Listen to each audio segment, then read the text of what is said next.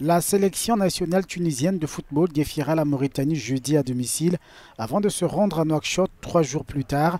Une double confrontation qui s'inscrit dans le cadre des troisième et quatrième journées des éliminatoires zone Afrique de la Coupe du Monde 2022.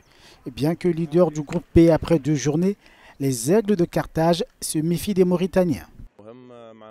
C'est un match important contre un adversaire avec lequel nous avons eu quelques problèmes ces dernières années.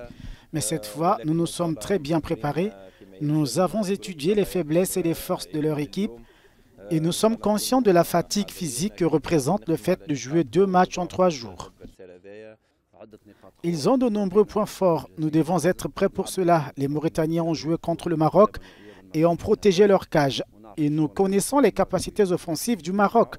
Lors de notre dernière rencontre avec l'équipe mauritanienne, nous n'avons pas eu l'avantage ni au niveau des résultats, ni au niveau de la possession. Nous devons être méfiants et prêts à atteindre notre objectif. L'objectif reste la qualification pour le tour suivant. Après deux rencontres, les Aigles de Carthage comptent 6 points.